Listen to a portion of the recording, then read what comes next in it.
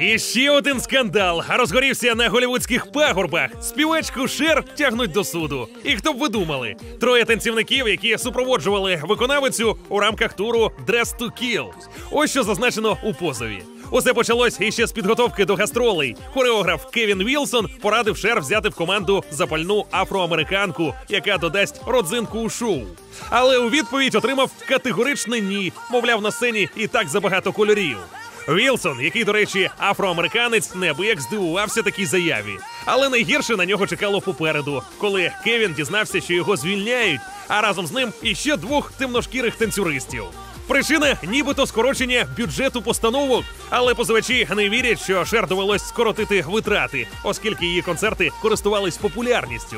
Вони переконують, причина в іншому в расизмі і в тому, що трійця стала випадковими свідками скандалу зі зґвалтуванням. Танцівники дізнали, що у червні цього року їхній колега по шоу балету зґвалтував одну з фанаток Шер. Вони одразу ж попрямували до співачки та її менеджера, аби розказати про інцидент. На що почули у відповідь: тримайте язика за зубами. І саме після цього їх звільнили.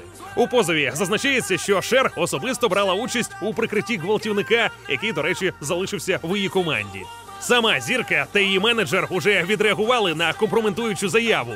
Усе, що про них наговорили, вони називають суцільною брехнею та спотворенням фактів і готові дати гідну відповідь.